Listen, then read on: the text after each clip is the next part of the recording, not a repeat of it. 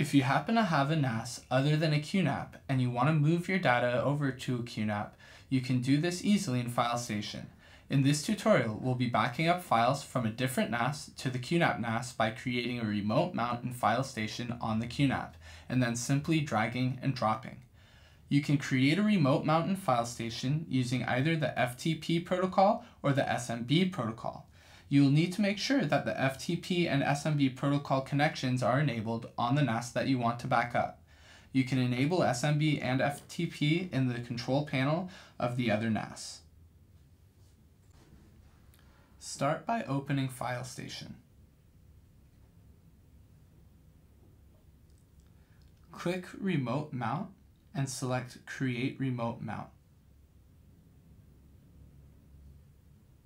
Here, you can select the protocol that you want to use for the mount.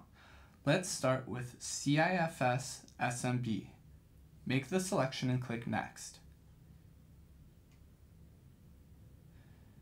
If you click on the arrow, you'll see the other QNAPs on the LAN, but in this case, I'm not backing up another QNAP, so I will need to input the IP address of the NAS that I want to back up manually.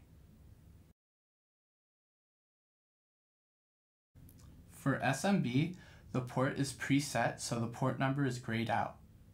Now input the account username and password.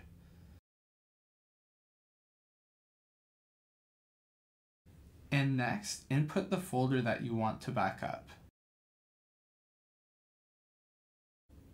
Click Create.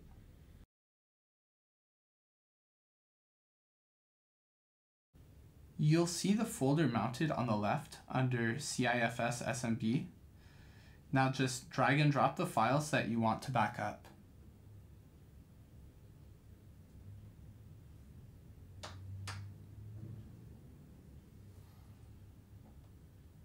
and that's it. Next, we'll try this with the FTP protocol. If you know the code page for the server you're trying to connect to, you can select it. Otherwise, just use UTF-8. Now, input the IP address of the NAS you are trying to back up. The FTP protocol will usually be using port 21, which is already input for you. If you know that it's using a different port, you can input that port. Under the port number type the username and password of the NAS you want to back up. And under destination folder, you can mount a specific folder or mount directly to mount all the folders. and you'll see on the left side it will pop up under FTP you can select the NAS